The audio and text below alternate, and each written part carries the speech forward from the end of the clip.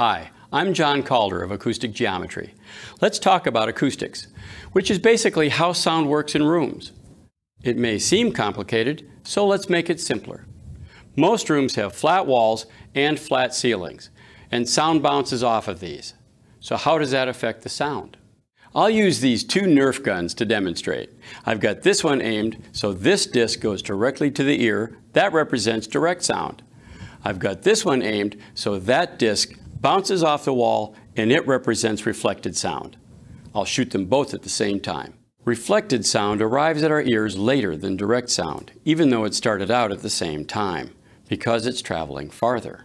And this wall is only one flat surface. There are at least six in the average room, and that's a lot of reflected sound.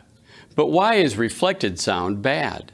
I'll demonstrate using these two identical patterns. The blue pattern represents direct sound waves, and the red pattern represents reflected sound waves. They start out together, but when I move the red one backwards, like a delayed sound reflection, it creates destructive interference patterns which changes the original sound wave.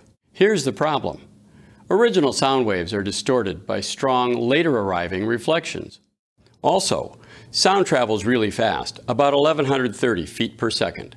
A sound wave will bounce back and forth between these two walls about 60 times in one second.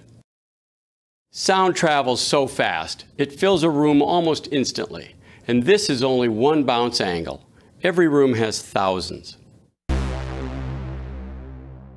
How can we make our rooms sound better? Remember our Nerf guns?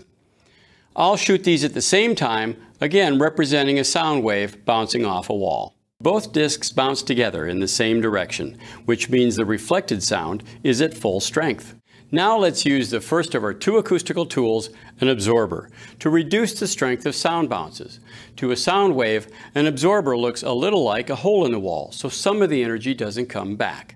An absorber works by reducing the strength of reflected sound that would otherwise cause more destructive interference.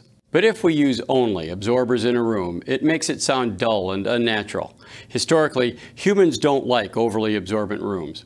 So, let's use the second of our two acoustical tools, the curved surface diffuser. It also reduces the strength of sound bounces. A diffuser works by scattering the sound reflections in different directions, smoothing out destructive interferences throughout the room. Room acoustics are greatly improved using a combination of absorption and diffusion.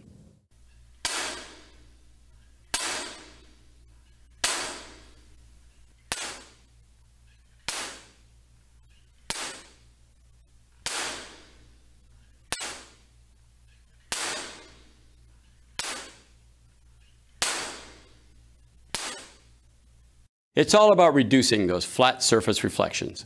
Use a combination of absorbers and diffusers, and your room will sound a lot more natural. Thanks for watching.